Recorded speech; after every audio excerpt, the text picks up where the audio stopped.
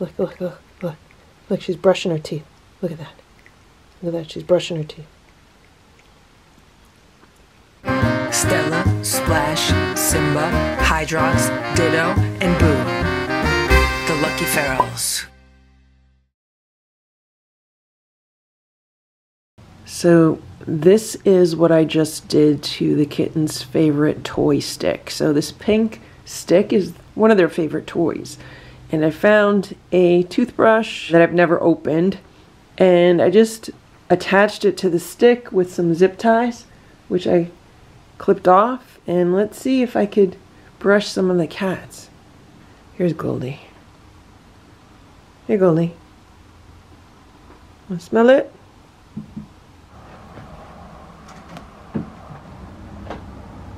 Here, Nancy. So Nancy will let me brush her with it, but she's easy. She lets me pet her. I could pick her up. She's an easy one, but maybe I'll get her scent on it. and um, maybe then the other cats won't run away from it.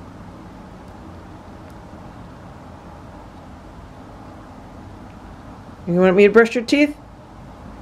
You want me to brush your teeth? Look at the dogs. There's two big dogs. Nancy, look at the big dogs. There are two people walking two very big dogs. One of them is taking a dump on my front yard. They better be picking it up. That's a big dump. Oh my god. Okay, the guy is picking it up. It looks like. See how big the dog is? It's a really big dog. Okay, so maybe if we play with it as a stick, they'll be more interested in it.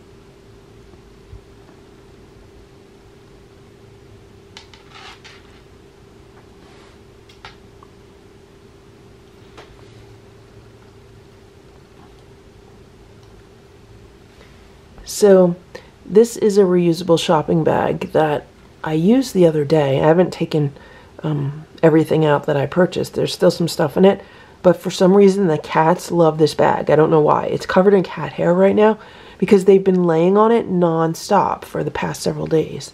That's why I've just been leaving it here. They're not afraid of it when it's a stick, but if I put a brush on the end of it, then they're afraid of it. Maybe I'll just let them have it. Can you see? She's touching it. Now she's laying next to it. Here comes Nancy. Nosy Nancy.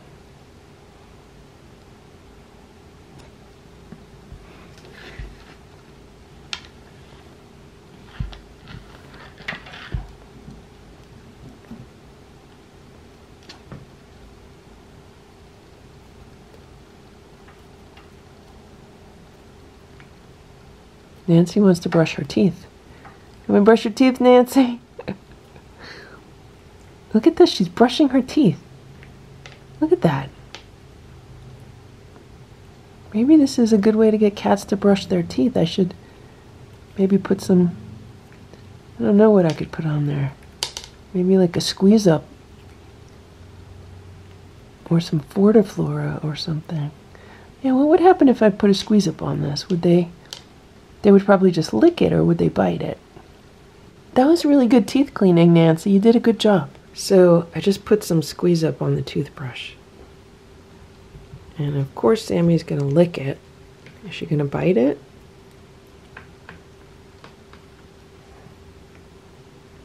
You to brush your teeth? Oh yeah, look, she's biting it. Here, get the rest. You going to bite the rest out? Gonna bite it?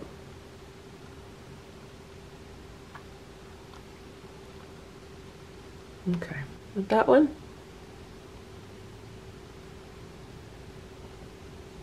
Here. Sammy wants the rest? Okay, Sammy licked it off. Oh, look. Can I brush her teeth with it?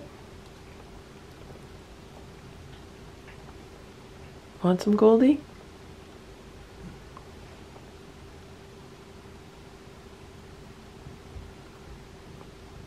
Yeah, look, she's letting me brush her teeth. Okay, Ziggy. Who's eating it next? Nancy?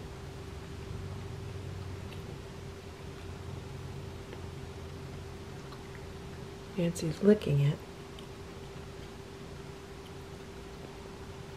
Move over, Sammy.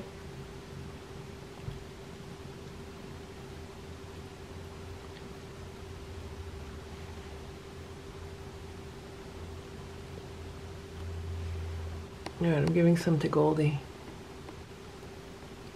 Look, look, look. Goldie's biting the brush, look. I'm brushing her teeth. No? You want to bite the brush some more?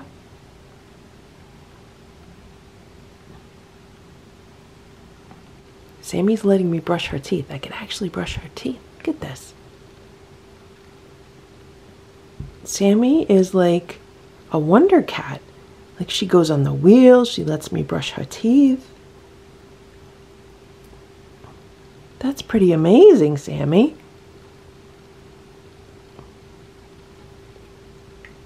I'm going to have to get another toothbrush and try it with the other cats. So here's Simba, and here's another toothbrush filled with a chicken squeeze up. Would you like some squeeze up, Simba?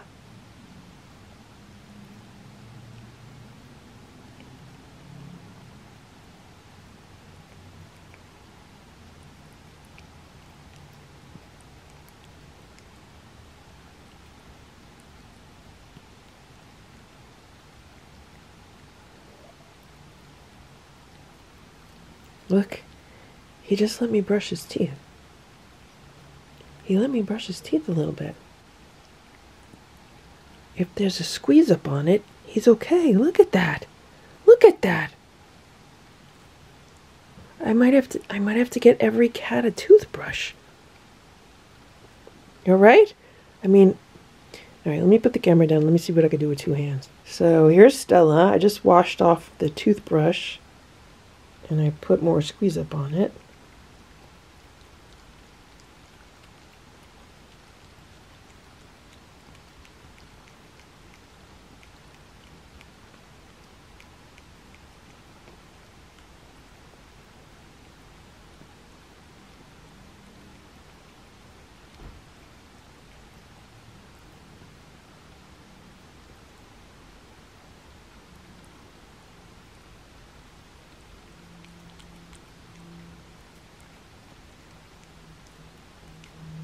Getting a little bit of brushing in here.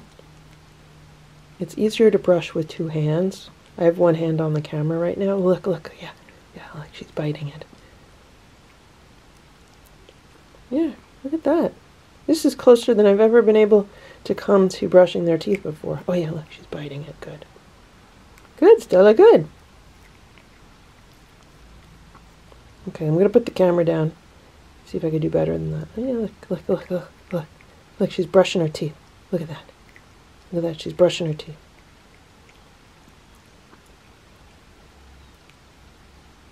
So I got a little bit of brushing in when I put the camera down. And I just gave her some more squeeze up.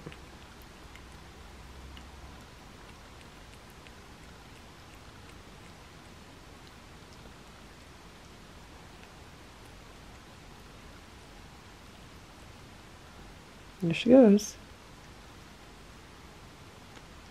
Biting on the brush. Good job, Stella.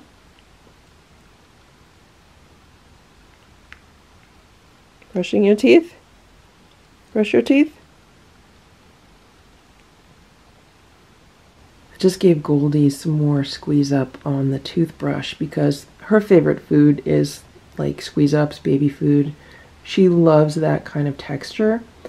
Um, and here's Sammy. One thing that I did want to point out is that Sammy is probably closest to the Tuxies than to any of the other cats. Um, it's kind of interesting how um, if I was to separate the cats based on who they are most bonded with, the two Torties would be a pair, the two marble tabbies would be a pair, and the two mackerel tabbies would be a pair.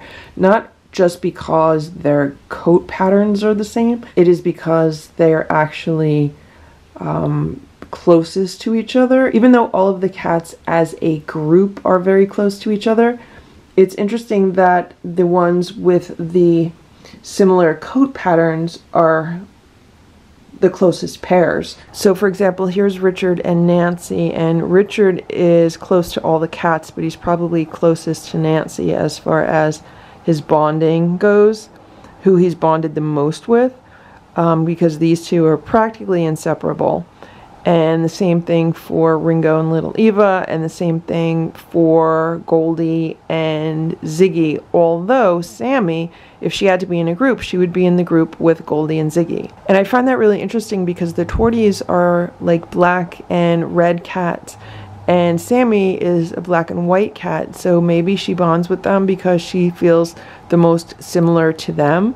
I don't know if it's a temperament thing or what, but the three of them are really kind of like a group. Uh, Sammy's much more so a group with the Torties than she is with um, these two or the other two, even though they all get along. All seven cats all get along, and at various times of the day, they are hanging out in different configurations. Um, but if I had to make like overall generalizations, that's what I've noticed. It's 4:23 p.m. Look at what's going on here by the back door. That's little Eva and Ziggy. They're so tired. They're taking an afternoon nap. They don't want to be disturbed.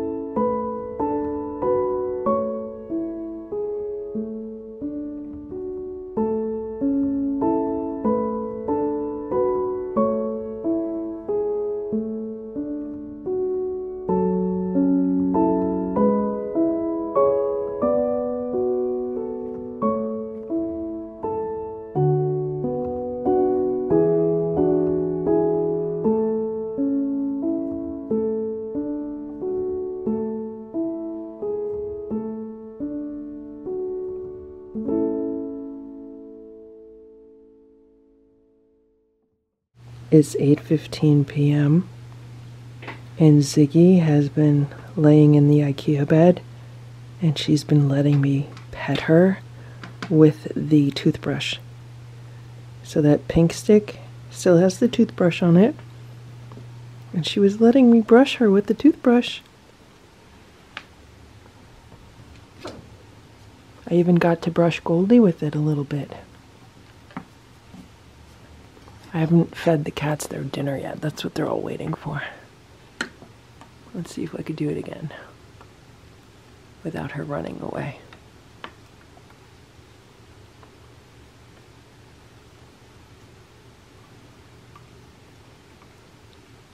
She's, she's brushing her teeth.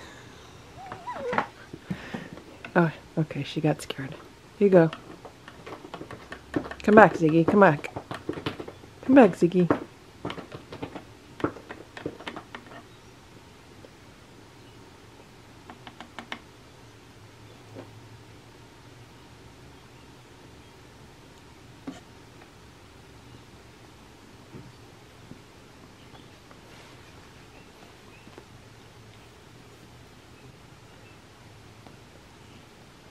Richard Nancy.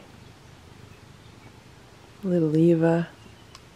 Oh, look at this, little Eva.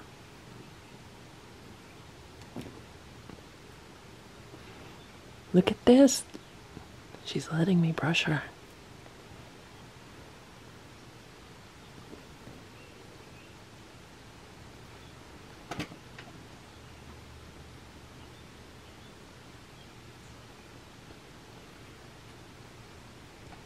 Sorry, Eva. I got a few brushes in.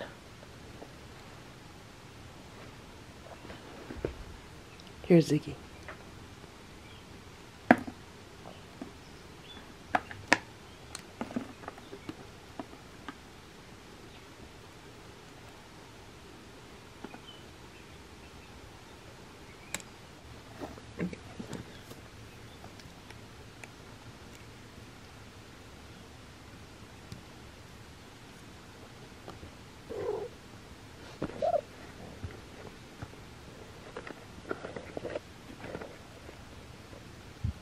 Look what I just found. So this was one of those little tennis ball toys. Look at this. It's one of the little tennis balls. And look what happened. Look, they killed it. Look at this. This is what's inside of it. It's like a rubber ball. They totally broke it. Oh, and it has like one of those, um, I think those things that are supposed to make noise. This is totally going in the garbage. That's not safe right now. Like one of those squeaky things. Who did that, Sammy? Who killed that ball? Who killed the little tennis ball? I blame Richard. It's 4:45 p.m. and here's Stella. She's laying on the bed. I want to see if I could show you Splash. Hello, Stella. You're looking very pretty today. Here's Splash. Hey, Splash. He's been laying in this cat bed. Let me tell you what happened to this cat bed. So this cat bed was along the wall next to the cat tower and maybe two feet above the Feliway dispenser that is plugged into the outlet. And it was on top of a storage unit. And yesterday, I picked up this cat bed and underneath it there was like an oil puddle. And I was like that's really weird. What is that from? At first I thought it was water because it was under the window and I was like well maybe when it rained some water came in. But then I realized that it was oil. And then I realized that it was somehow the condensation from the Feliway dispenser uh, because it was so close to it, it was, you know, a foot or two above it, that when the Feliway dispenser heats up the liquid in it, then the the vapors rise and I guess they were being somehow caught or condensed underneath this bed so then I smelled the bottom of the bed, and sure enough, it smelled like the Feliway liquid. Now, some people will say that it has no smell, but it does have a very, very, very faint smell, especially if you put your nose right by the dispenser. So I remember thinking, well, if any of the cats end up laying in this bed, they're going to end up being really, really comfortable because of the Feliway liquid on the bottom of it. And it wasn't like it was making the material wet or anything. Um, it had just been absorbed by the material, but it wasn't a very, very large amount of it. I would say, I don't know, maybe like a teaspoon of it or not even. And look what's going on here today. Splash is so comfortable in this bed. Splashy looks so comfortable. And let's see what happens if I move around. Okay, now he's not that comfortable. How you doing, Splashy?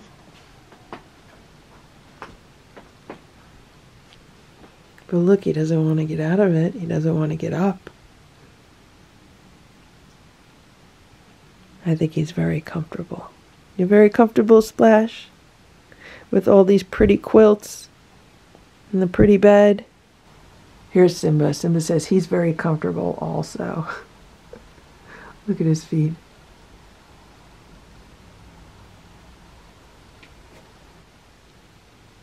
Hello, Splashy. You're so cute. Splashy, do you know how cute you are? Do you know what a handsome man you are, Splashy? Do you? You're a very handsome cat. Right, Splash? You're a handsome cat. The green of the cat bed matches Splash's eyes.